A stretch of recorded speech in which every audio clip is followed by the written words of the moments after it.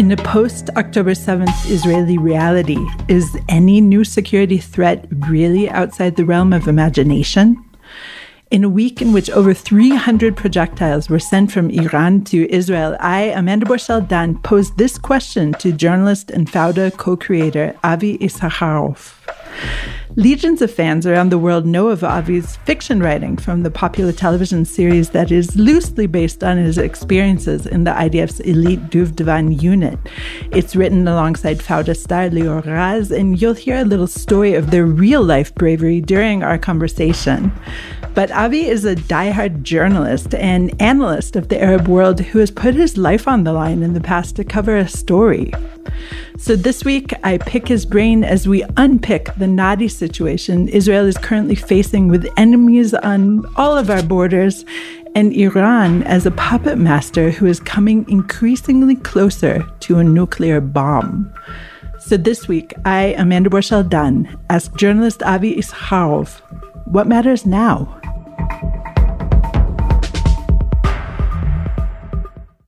Avi, thank you so much for joining me today for What Matters Now, our weekly podcast from the Times of Israel. Thank you, Amanda.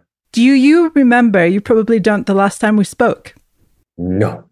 It was October 7th at about four o'clock in the afternoon. Wow. Yeah, big, big day. And at that point, you were saying that the Hamas infiltration was on the level of 9 11 for the United States. Would you agree with that statement now? It's pretty surprising to me even to hear that this is what I said at 4 p.m. on October 7th, Saturday, because I was sure that till now, uh, really till that second, I wasn't sure that at that point at 4 p.m. that I really understood the scale of the attack, and now I understand that I did, and I have to thanks Al Jazeera for helping me understanding that, meaning Al Jazeera that became a propaganda tool for Hamas, military wing, political wing just aired everything, including everything starting from 7 a.m. in the morning. And suddenly you could see it on your screen. You could see the part of the atrocities that they didn't show the atrocities, the real atrocities, but you could see the way that they went into the kibbutz, the towns, and killed people and took over parts of those uh, of those places and you understood that there are many many casualties and hostages uh, during this attack during our conversation, we still had no clear idea about the numbers of people who were killed or abducted. Of course, those numbers shifted. But at that point, you had an idea that this was a turning point in the history of Israel for sure. And I know that a couple days later, you went into Sderot yourself. You went in with your writing partner, your Fauda partner, and with uh, Yochanan Plesner, who is the head of the Israel uh, Democracy Institute, and tried to evacuate some families. Tell us very briefly what you saw on that day. So, just like many other Israelis, I was kind of very much uh, frustrated from the not only the situation, but also the fact that I couldn't do much. I mean, I crossed the 50 not that too long time ago, but I crossed the 50 and my military unit in the reserves in the Miluim didn't call me. And I was almost begging them to take me, but they didn't. So I was looking to do something. And I've heard that Achim LaNeshek, brothers and sisters in arms, open up a kind of an operation room uh, not far from Sderot in Bet Kama. And from there, they're trying to help people that are living in Gaza's periphery, including Sderot, to to get them out of the danger zone because Gaza's periphery was still under fire and there were some terrorists on the streets and the fields of Gaza's periphery. And this is what brothers and sisters in arms did, meaning go into those towns and villages, bring the people out of the war zone or the danger zone, and try to, to bring them to safe zone as fast as possible. So I joined them at around 2 p.m in Bet Kama. And I remember that when I entered the kibbutz, I was kind of shocked. I was kind of shocked because I saw hundreds of Israelis, more or less my age, again, people that could not go to the army, that were there waiting in line to get a mission, what was the mission? You know, you get a name, you get a phone number of someone that is stuck in Sderot, let's say, and you need to pick him up and bring them out of Sderot. And those men were standing in line just like, you know, I don't know, waiting in line for coffee or for something very tasty in the streets of New York and waiting to get a mission that would put their own life in danger in order to help people that they don't know, that they don't have any idea who they are, but just in in order to help them. And you know, you say Kol Israel arevim ze meaning we're all responsible for each other. And this is the feeling that I got when I saw the, this amazing thing. And you know, this is this was a kind of a ray of light in the total darkness of what happened these days, that days in Gaza's periphery and in the war against Hamas. And at the end, when I looked around and I saw all those faces around me, I couldn't feel but some kind of optimism that at the end of the day, we will prevail, we will manage to stand on our feet and to win this war. And I must say that, you know, we got into Sderot, and I remember the first family that we picked up a mother and two kids. And she's a new Ola uh, from Caucasia, from Georgia. Um, and she said she she she was trying to ask what what what was happening, who were we, because she didn't recognize I was with someone that I didn't know. That we went on on my car to pick them up, and there was shooting around us, and there were rockets falling, and every couple of, of minutes you hear the Tseva Adom, Tseva Adom, the red color, red color, and you need to hide. And then she was asking, "Who were you guys?" And I said, "Brothers and sisters in arms." And she said, "Well, well she was afraid that we might be Hamas." But then she understood that we were volunteers, and she said, "You know, I'm not such a smart woman." That was her own words. I'm not that sophisticated. I'm a new Ola from Georgia. But I do understand that it wasn't you that was supposed to pick me up. It was supposed to be the government. And, you know, she was crying. She was really, really crying. It was really hard for me even to, to be there. And the second round, I went with Lior and Yochanan to another family, and we call them, it was a mother and her daughter.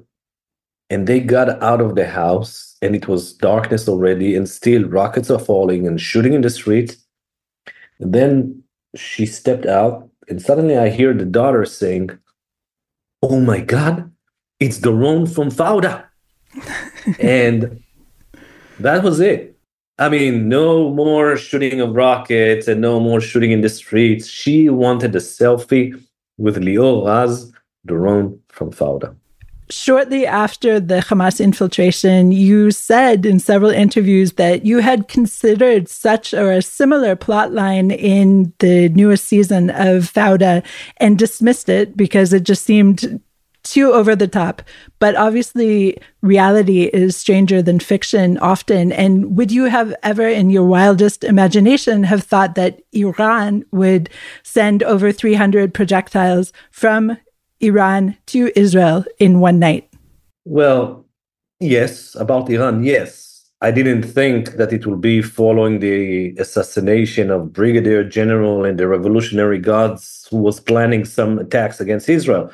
I thought that if we're going to face some kind of uh, scenario like that, it would be after a major attack on Iranian nuclear facilities in Iran or a war, a complete war with Hezbollah. At the end of the day, you know, the, the so called excuse that the Iranians decided to retaliate, so called, and again, I don't think that this is retaliation. This is a kind of an attempt to create a new equation between Israel, Iran, Syria, and Hezbollah at the end, I would like to remind the audience that the Israeli attack was not on the Iranian embassy, but a, a, building that was adjacent to the Iranian embassy in Damascus. And over there, there was a group of Iranian generals that I can call them easily terrorists, that they were planning how to commit attacks against Israel from Syria and Lebanon.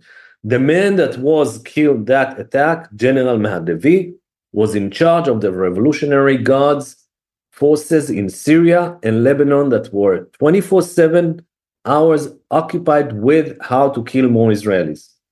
So was it a kind of a, I don't know, a drama? No, this was part of the war between Iran and Israel. Did we bomb the Iranian embassy? No. Although the Iranians, and I would like to remind you that, did bomb and try to bomb some Israeli embassies all over the world, starting with Argentina, of course, Buenos Aires, 1992. But then they try to do it in Baku, Azerbaijan. They try to do it in Canada. They try to do it in Thailand. They try to do it in so many places. And suddenly, oh my God, they're attacking a building adjacent to the the Iranian embassy. So first of all, you know, I don't buy this that this was a retaliation. That was a clear attempt to to send an, an Israel a message. Now, if you're going to attack one of us in Syria, we're going to attack with drones and with cruise missiles. And I I think that Israel have to continue and claim and send a message that no Iranian general that is operating or working in killing of Israelis will be safe in any territory, not in Syria, nor Iran, not Lebanon. Simple as that. So the retaliation by Iran was a scary moment, shall we say, for Israel, but Israel definitely stepped up over overwhelmingly some 99% of the projectiles that were sent were were shot down also by neighboring countries, also by the United States, also by Britain, also by France. But it sounds to me that these neighboring countries and Britain and France and uh, the United States would not have our back if we were to continue to knock off the generals and get this kind of response back from Iran. But now everyone is signaling, hey, that's enough, Israel. Like, step down. Don't do anything crazy now. Don't do something crazy in Iran this is what they do mean. I don't think that they are trying to say don't protect yourself by going and attacking people that are planning to go and kill you. I mean, it's a, it's a kind of a crazy situation. Even by them saying to us, "Don't go and attack Iran," it's it's ridiculous if you ask me, because no other country in the world would ignore that and just continue with its daily routine, unless it's Israel that is under an huge pressure from all over not to, to retaliate. But having said that, we have to keep in mind that the Iranians are still continuing to plan attacks from Syria, Lebanon, Yemen, Iraq, Iran, wherever, the West Bank, and Gaza against Israel. And we cannot ignore that. And we cannot allow the international community to ignore that. They have to understand that the real bad guy here is not even Hezbollah.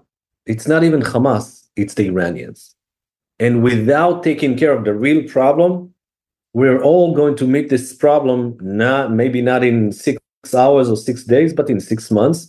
And it's not going to be only an Israeli problem. It's going to be also the West problem, and they know that by now you and I see the web that connects all of them together, but it's very difficult, I think, for a regular reader of uh, any kind of international media to understand the connection. When we spoke on October 7th, actually, it was still unclear whether Hezbollah would join in. And what you said at that point was actually, if they do, they're very stupid, but this could be an opportunity to get rid of Hamas and Hezbollah. In the meantime, they have joined in, and yet Israel has not taken steps to really get rid of Hezbollah. They did and they didn't. Like Hezbollah is very careful about what it is doing from Lebanon. Even during the last attack of the Iranians, they didn't join the Iranian attack. So, yes, they are bombing the northern area, but they do not cross that line of the north area. Why? Because they don't want war. It's a kind of a lip service, so called, which includes, of course, rockets and, and killing people, etc. But we have more than 350 Hezbollah members that were killed in Lebanon till now. I mean, they are paying a, a very heavy price for their involvement. And still, let's keep in mind that in the last six months plus, they send a very clear message we don't want a full scale war. We need to show Hamas and the Arab world that we are doing something, but we don't want more than that. A lot of this is very performative, meaning what's happening with Hezbollah and, and potentially perhaps what Iran sent over just does kind of seem like flexing of muscles in a way. But do you think that Israel is flexing enough back? Definitely not in the case of Iran till now. And we are talking on April 17th at 1:44 p.m. So I don't know if it's going to be relevant for tonight or for tomorrow. Till now, the Israelis are ignoring, in a way, uh, the Iranian attack. Again, I'm not sure that this is going to be relevant in a couple of days. Hezbollah, there is a clear decision by the Israeli government and by the Israeli security apparatus, you know, not to cross the line over there too. Meaning, first of all, we need to focus on Gaza. Later on, after we'll manage to get over the, all the obstacles and all the problems in Gaza, so maybe we can focus more about Lebanon. Till then, we're going to continue in this kind of uh, war of attrition with Hezbollah. And we are hitting them pretty hard, I must say, from the air, and sometimes not even from the air, but mainly from the air. And we are killing commanders in Hezbollah, high rank officers, etc. Iran is closer than ever to a nuclear weapon, and it's possible that its leadership is closer than ever to being crazy enough to use it. There was a recent Washington Post report that it could be a matter of days until they reach enough fuel, and it could be something like six months until they reach the actual bomb. Do you see this as something that we Israelis should be existentially aware of and afraid of? I think that this is the biggest threat for the state of Israel. I mean, with all the respect to Hamas and Hezbollah, and there's not much respect, it's not an existential threat for the state of Israel. I think that what is happening, according to the Washington Post and the IAEA, it's a matter of days, like you said, till they will get enough enriched uranium for three nuclear bombs. And we're talking about military level of enriched uranium of 90%. It's crazy. It's way beyond crazy because 12 years ago, when we had Benjamin Netanyahu speaking in the UN about the threat of Iranian nuclear bomb and showing this uh, paint of a comics of a bomb, and he showed the red line that we cannot allow Iran to get there we are there. We are there on the red line, and Iran is just days from crossing it. And still, Israel and the whole world are focusing on Gaza, Lebanon, and of course, some cruise missiles that were sent from Iran. At the end of the day, the nuclear facility in Fordow and Bushehr and other places are way more threatening to us than any rocket that will be shot or not shot from Gaza or from Lebanon. And this is the main thing that we have to keep in mind. And if you ask me, this is the biggest failure of the Israeli leadership of the last 14 years, of the last 15 years, since Benjamin Netanyahu won the elections and became the prime minister. His main issue was about Iran, Iran, Iran, prevent Iran from becoming nuclear. Now it is becoming nuclear, and Israel is not doing anything in order to stop it.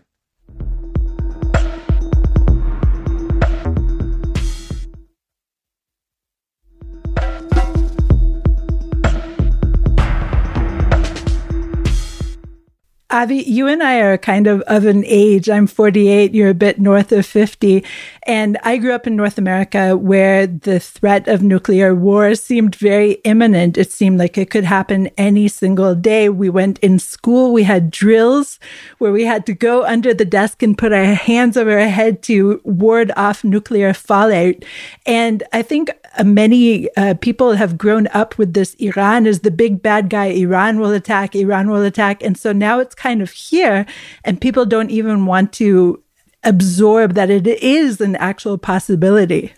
You know, it's a kind of a thing that you cannot really deal with. You know, all the time that you have Hamas and Hezbollah, you're saying to yourself, okay, we can deal with them. We're stronger.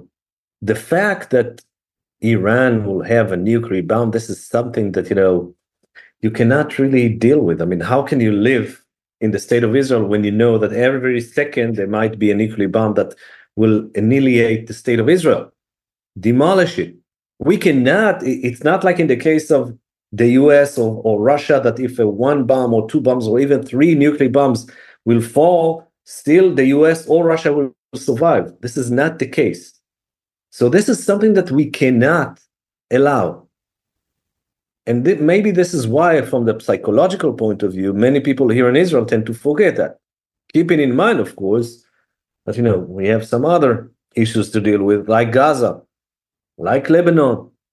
Hamas did what it did on October 7th, and all of us woke up to this nightmare and understood that we created a monster. We helped in creating a monster on our southern border. I always wonder really how interconnected the different groups are Hamas, Hezbollah, Iran, because some part of my brain is wondering if all of this isn't a distraction to take our attention away from this nuclear threat. Just like in the beginning of October, there was a lot of activity along the border. We thought it was just uh, Hamas again having some kind of protest, which they've done in the past. I think it was July, large scale protest, but really it was to divert our attention away from this.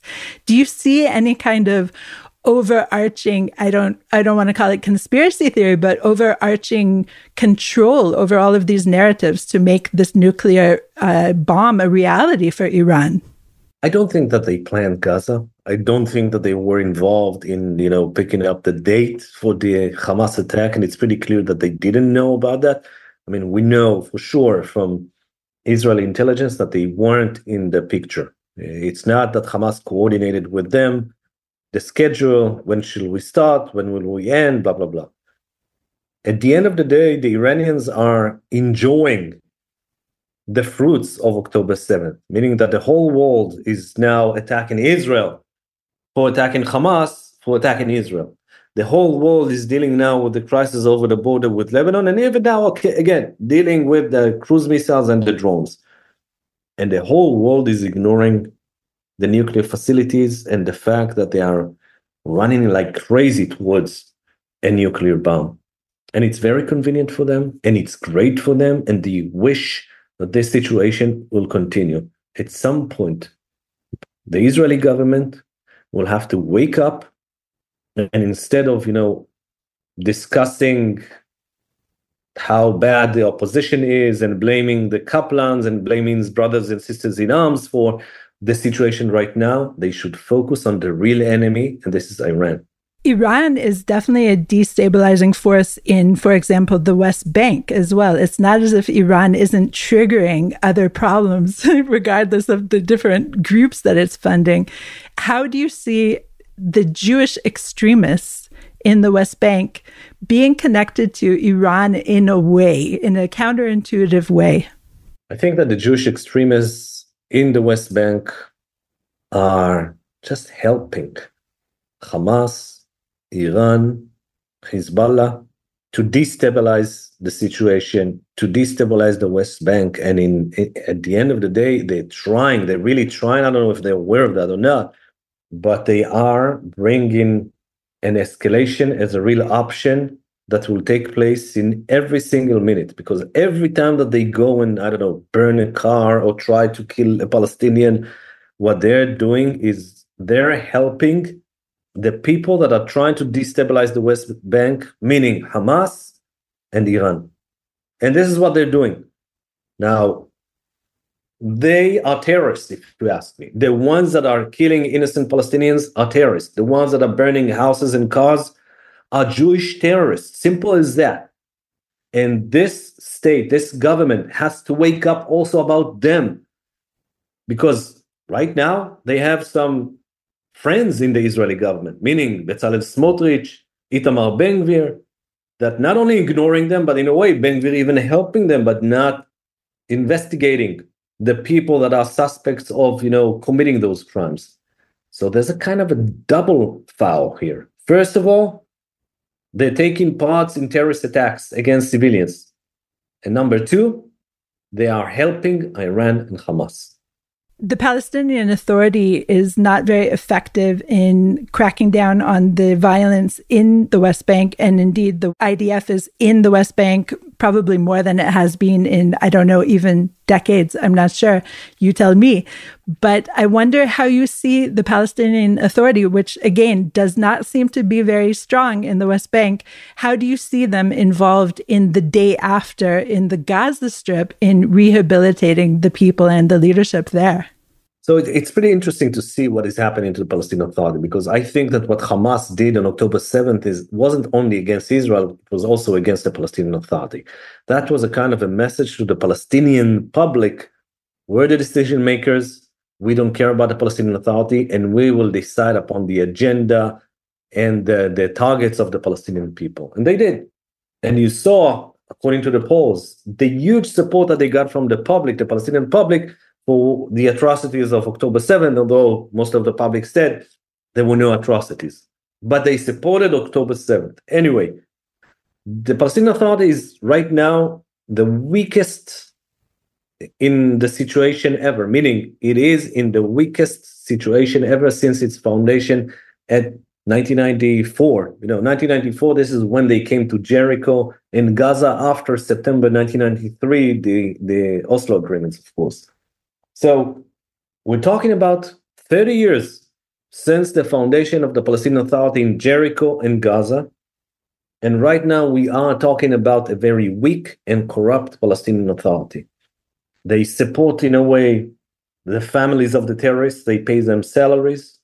Their books, educational books, the textbooks that are learned in the high in the schools and high schools have some very anti-Israel and anti-Semitic elements in it. And all this gives you a kind of uh, an impression that there's no one to deal with on the Palestinian side. But I want to tell you something. Having said that, after all that I said about the Palestinian Authority, this is the only option that the state of Israel has right now for the day after in Gaza.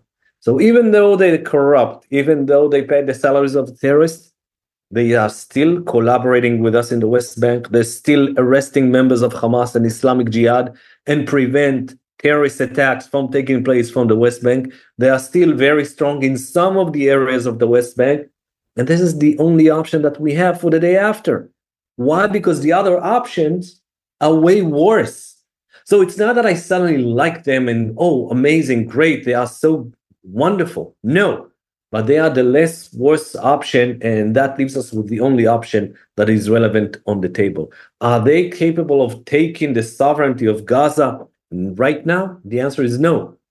But we will need to collaborate with them in order to prepare for the day after because we can continue and fight hamas forever and ever and it will not lead us to anything except for looking for a solution for the day after and all the time that we ignore them, we will not find a solution. We have here a real opportunity to create not only a change in Gaza Strip, but a change in all over the Middle East. Because collaborating with the PA by dismantling, not by removing Hamas's regime in Gaza, that will allow us to go for all kinds of peace agreements with Saudi Arabia and other Arab states in the region and create a real drama a real tragedy for Iran. Avi, have you yourself been in Gaza during this war? Yes, I've been a couple of times. What are you seeing there? Especially, are you able to speak with any of the Gazans who are there? No, no. Actually, I, I was embedded with the troops. There were no Palestinians in the areas of the uh, of the war of the fighting. Meaning, I was in Shaja'iyah during the days of the battle over Shaja'iyah. I didn't see any civilians at all.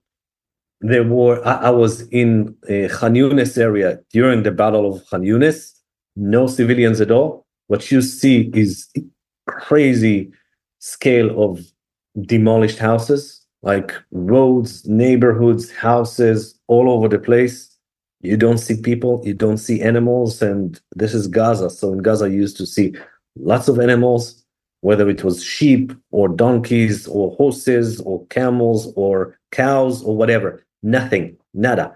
It's like getting into, I don't know, a second world war zone that you see in the movies and even worse than that and it's very sad and it's very tragic but at the end of the day we need to keep in mind why did it all happen it wasn't about israel israel didn't want this war israel was forced to go into this war on october 7th and the way that hamas is using and was using their own population their own palestinian population in order to get cover from the israeli retaliation or attacks, this is what led to this catastrophe in Gaza.